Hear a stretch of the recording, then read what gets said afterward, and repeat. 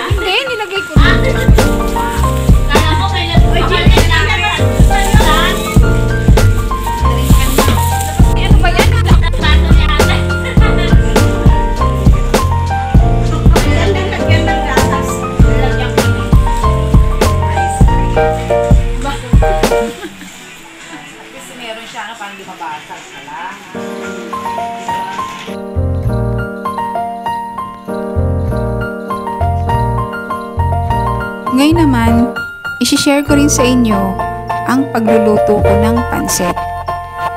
Ito, pansit bihon to.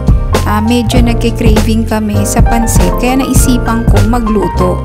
Pambahay lang ito, ganito ako magluto ng pansit bihon.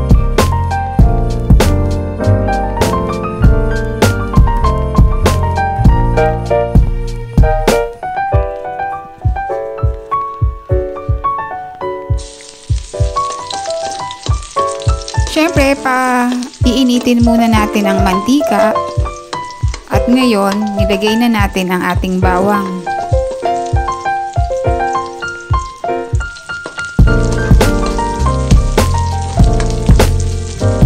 Next naman ang ating sibuyas.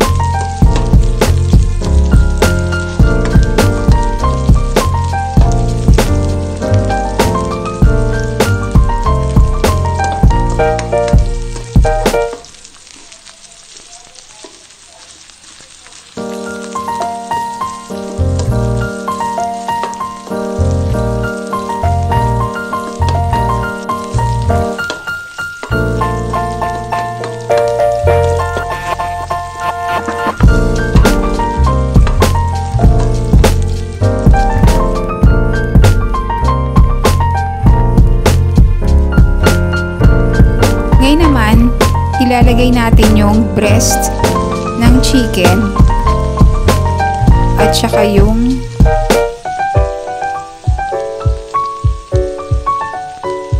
yung liver medyo maya maya na natin ilagay kasi madaling ano yun eh madaling maluto madaling madurog. Ito naman uh, pinakuluan ko na yan kasama ng balon-balunan. Siniredded ko na din.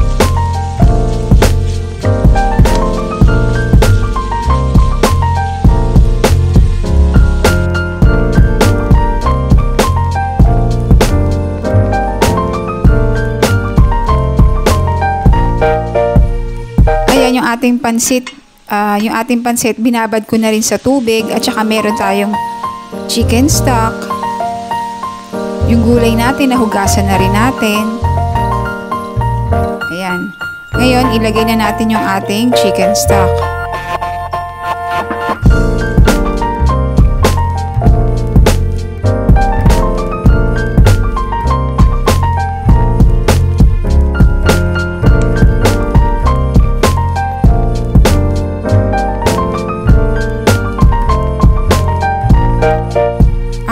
Natin mailagay ito, i-next natin yung ating gulay.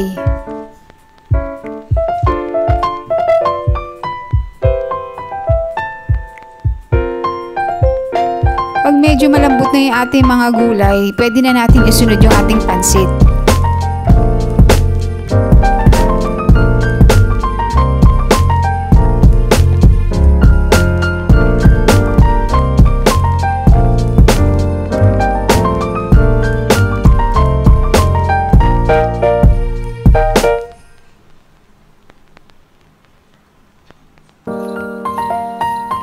Ayan, nilagay ko na rin yung atay. Yung atay ng chicken natin.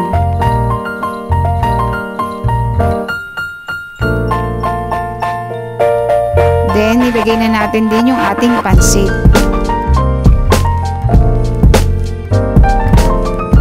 Ayan. Haluin na natin. Sa pagluluto para nito, hindi kasi kami naglalagay ng mga ekstrang pampasarap. Ang nilalagay ko lang dito ay yung pepper and salt. Kasi mga katsa, pagka talagang masarap kang magluto, ba? Hindi mo na kailangan yung mga ekstrang pampasarap pa.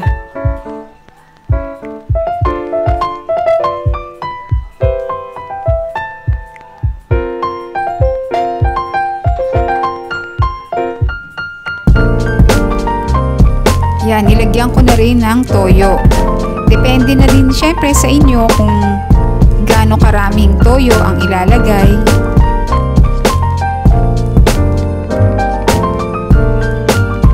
At depende rin yun sa ating panlasa. Huwag naman masyadong maalat.